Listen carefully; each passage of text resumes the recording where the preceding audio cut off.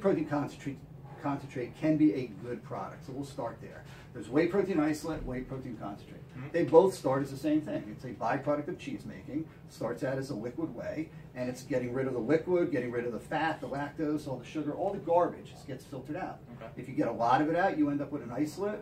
An isolate, by definition, USDA definition, has to be a minimum of 90% protein value, complete protein value.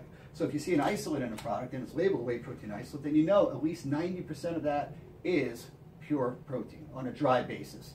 That's just lab definition. It's a little less what you put in the bottle. It's about 88, 89%.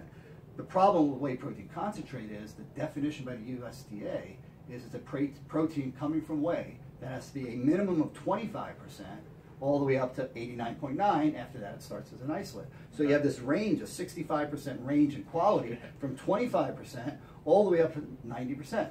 Now, there's no commercial available WPC that's 89.9. They're all about 80. So if you take a really high-end whey concentrate that's 80%, next to an isolate, well, they're fairly close, 10% difference. Not bad using the two of them together or separate.